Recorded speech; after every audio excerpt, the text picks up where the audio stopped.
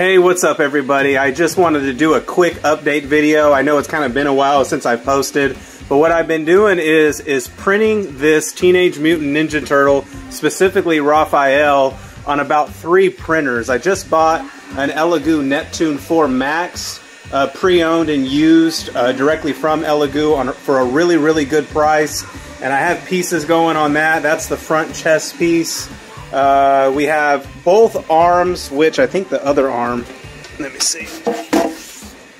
I got pieces everywhere, guys. So I got both arms, the one half of the upper torso, the, I don't know, I don't want to call it a helmet, I guess the face, the, the, the face head, there you go, Ralph's head. We have that there.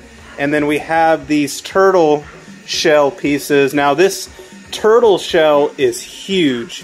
When I originally looked at the file, guys, I really thought I was going to be able to just print the turtle shell in two halves. So basically it would be like half the shell and then half the shell, but it is way too wide in whatever orientation or direction you put it to actually print it in one piece on an Elegoo Neptune 4 Max, 3 Max, or a CR10 Max. So I had to cut this up into a little bit more pieces than I wanted to, so it's gonna create a lot more cleanup and joint and seam repair than I wanted to.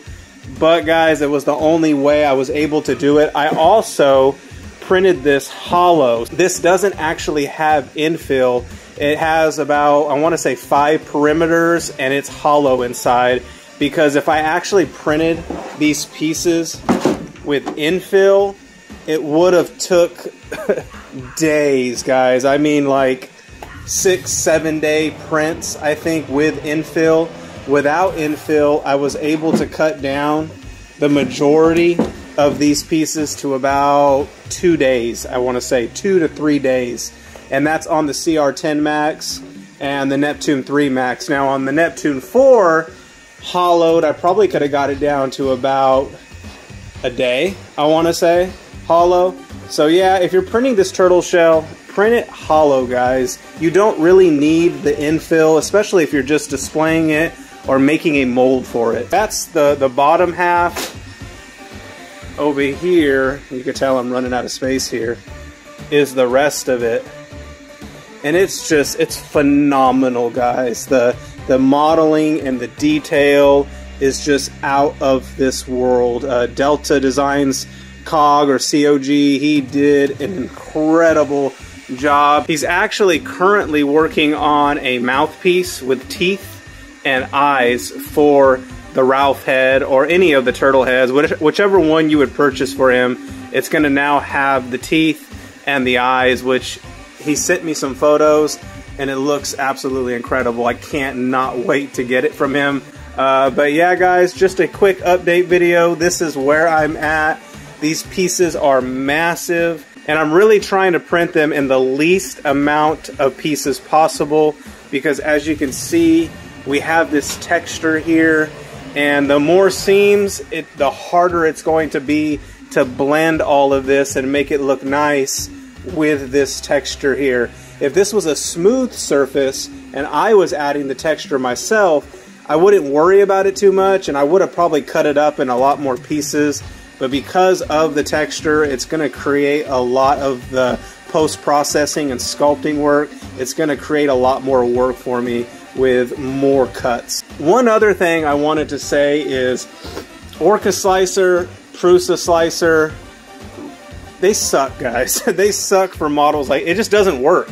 So if you are purchasing this model and you want to 3D print it, I could not get Prusa Slicer or Orca Slicer to work with this model. Anytime I would try to slice for G-code, it just hangs. It, it, couldn't handle it, it couldn't do it. And the reason I think is because of the tool paths.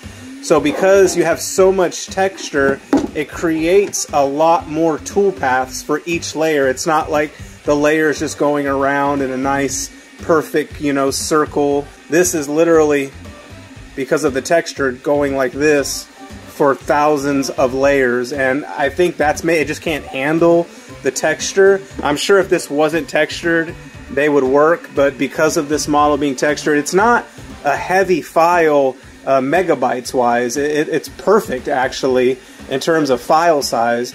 It's just the texture.